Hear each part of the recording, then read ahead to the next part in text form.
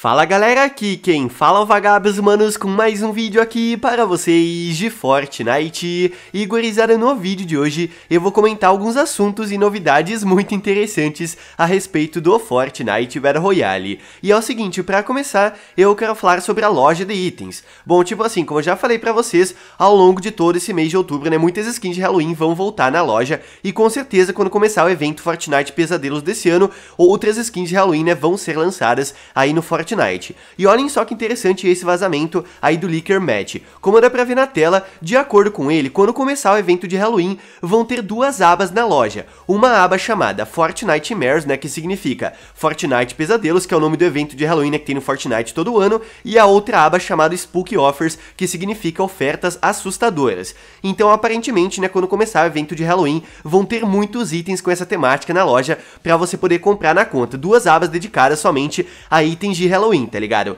Aí você me pergunta, mas Vagabs, qual que é a diferença das duas abas? Tipo, realmente eu não sei dizer, né? Já que uma se chama Fortnite Pesadelos e a outra Ofertas Assustadoras, aparentemente as duas abas vão mostrar itens de Halloween. O meu palpite é que a aba Fortnite Pesadelos vai mostrar novas skins que vão ser lançadas no evento desse ano, tá? Mas é claro, apenas a minha opinião. E a Ofertas Assustadoras vai mostrar então itens antigos que vão voltar na loja nesse ano também, né? Pra você poder comprar. Então fiquem ligados porque quando o evento evento de Halloween começar. Não temos a data confirmada ainda, mas eu acredito que vai ser ou já nessa próxima semana ou na outra, tá ligado? Muitos itens de Halloween né, com essa temática de terror vão aparecer no Fortnite. E só para deixar claro, né, antes que vocês se perguntem, as skins que aparecem nessas imagens aqui são apenas exemplos, tá? Não quer dizer que todas essas skins que eu acabei de mostrar aqui na tela vão voltar na loja nesse ano, tá? E olhem só, aproveitando aqui o assunto, né, de skins de Halloween, uma coisa muito interessante foi o que o usuário do Twitter chamado Spooky Glex comentou recentemente tipo assim, de acordo com ele, ele recebeu uma informação né, de um informante anônimo que trabalha, né, aparentemente na Epic Games, que nesse ano vai voltar na loja a skin da Good Trooper e também do Skull Trooper, né, o famoso caveirão. Até aí tudo bem, né, porque as skins apareceram no evento de Halloween no ano passado. Só que olhem só, de acordo com esse informante, nesse ano todo mundo que comprar as skins na conta vai conseguir as versões exclusivas lá de 2017. Se vocês não sabem, o caveirão e também a zumbizinha, né, a Good Trooper, tem uma versão, né, que só quem comprou as skins lá no começo do Battle Royale em 2017 possui, né? Aqui no caso, a Ghoul Trooper tem a versão rosa e o Caveirão tem a versão roxa. Então, de acordo com esse usuário, nesse ano, quando as skins voltarem na loja, todo mundo que tem o Caveirão e a Ghoul Trooper na conta vão receber também essa versão exclusiva, a famosa versão Oldina, como o pessoal chama. Ou seja, aparentemente uh, vai deixar de existir então as versões exclusivas para quem comprou as skins lá em 2017. E isso com certeza é uma parada muito importante, já que esse esse assunto, né, de skins e versões exclusivas no caso, uh, vem sendo bastante comentada faz um bom tempo já aí dentro da comunidade do jogo. Muitas pessoas gostam dessa ideia de ter versões exclusivas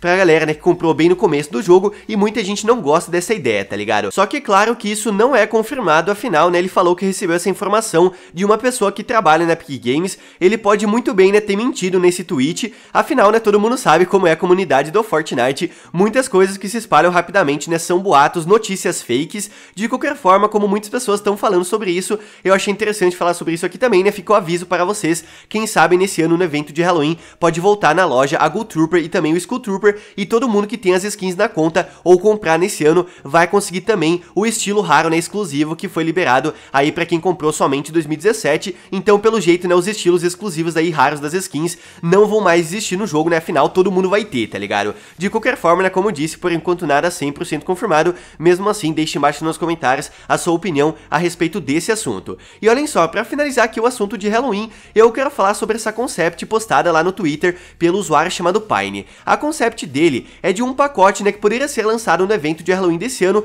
chamado Pumpkin Patterns Legends, que traduzindo significa mais ou menos lendas padrão de abóbora, né? E olhem só, a concept dele eu sinceramente achei muito bem feita. Na verdade, o usuário Pine já trouxe diversas concepts dele aqui no canal, já que ele sempre faz um trabalho muito insano e essa concept que ele fez não foi diferente, ficou muito bacana também. Uh, nesse pacote, né, tem três skins, todas elas com a temática de abóbora, temática de Halloween no geral. Se eu não me engano, eu acho que tem somente um pacote de Halloween no jogo até o momento, que foi lançado no ano passado, o pacote Juízo Final. Só que o pacote Juízo Final, né, tem uma pegada mais de terror, né? E esse pacote aqui, nessa concept, no caso, o tema é mais de abóbora. E eu, sinceramente, achei que combinou muito bem, né, com o Halloween do Fortnite. Acho que esse pacote, sim, poderia ser lançado aí nesse ano, quem sabe, né? Só que claro, como se trata apenas de uma concept, não é confirmado que esse pacote vai ser lançado, mesmo assim eu dei uma olhada nos comentários, o pessoal gostou bastante. E se a gente olhar bem, tem alguns detalhes muito lindos nessas skins. Todas elas têm vários desenhos de abóbora, né, tanto na calça como aí na roupa, uh, tem a cor laranja e preto, né, pra combinar aí com a abóbora também, o rosto aí, né, no formato de abóbora, com o olho brilhando, né, muito lindo. A skin do lado direito, se eu não me engano, é a skin da fazendeira, né, só que com o rosto todo na sombra, vou dizer assim, com capacete aí de abóbora também.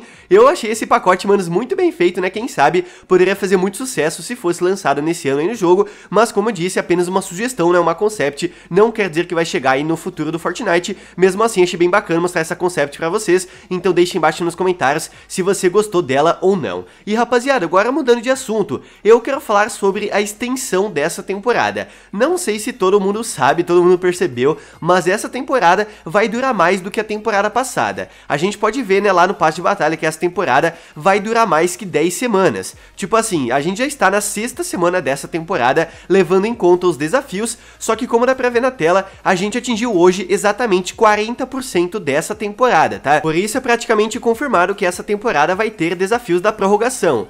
Então, tipo assim, os desafios semanais, né, de fato vão terminar na décima semana, mas depois da décima semana vão ter algumas semanas ainda dessa temporada que vai ser liberado novos desafios, né, muito provavelmente, como sempre acontece, os desafios da prorrogação e quem sabe, né, quando a gente completar os desafios, além de conseguir experiência, a gente vai conseguir alguns itens gratuitos também. Claro que os desafios da prorrogação ainda não foram vazados, né, porque afinal, ainda nem estamos na metade dessa temporada, mesmo assim, né, fica o aviso para vocês, eu sei que muitas pessoas estão preocupadas em relação à experiência em não ter upado ainda o suficiente, né, um nível nessa temporada, não ter conseguido a skin, né, que tá desejando no passe de batalha, mas não fiquem preocupados, como eu disse, hoje atingimos somente 40% dessa temporada, ainda faltam 58 dias para terminar, tá ligado? Praticamente dois meses, então tem muito tempo ainda para você conseguir mais experiência e, claro, né, upar mais seu nível nessa temporada, ok? Mas então é isso, galera, espero que vocês tenham gostado aqui do vídeo, deixe embaixo nos comentários o que você achou dos assuntos que eu falei aqui, qual é a sua opinião a respeito dessa polêmica que o pessoal tá comentando comentando em relação às variantes exclusivas raras aí das skins de Halloween, né? Gold Trooper e também Skull Trooper, que elas podem voltar na loja esse ano e todo mundo que já comprou as skins ou vai comprar nesse ano vai conseguir também, né, o estilo exclusivo liberado só para quem comprou lá em 2017, né? Ou seja, as variantes exclusivas raras vão ser para todo mundo, então vão deixar de ser raras basicamente, tá ligado? Mas como eu disse, né, por enquanto nada confirmado, pode ser apenas um boato fake, mesmo assim comenta o que você achou desse assunto. E se você gostou do vídeo, manos, deixa o likezão maroto, porque não custa nada e me ajuda muito. E é claro, né, também mande esse vídeo pros seus amigos que adoram saber das notícias, novidades e tudo mais. E para todo mundo ficar sabendo que hoje atingimos somente 40% dessa temporada, pro pessoal né, não ficar tão aflito em relação para o nível na temporada. Afinal, falta um bom tempo ainda, né, pro pessoal poder completar desafios e, claro, né, conseguir a skin que deseja aí no passe de batalha, ok? Então é isso, manos, aquele abraço, se vemos no próximo vídeo. Valeu, falou, se eu fui!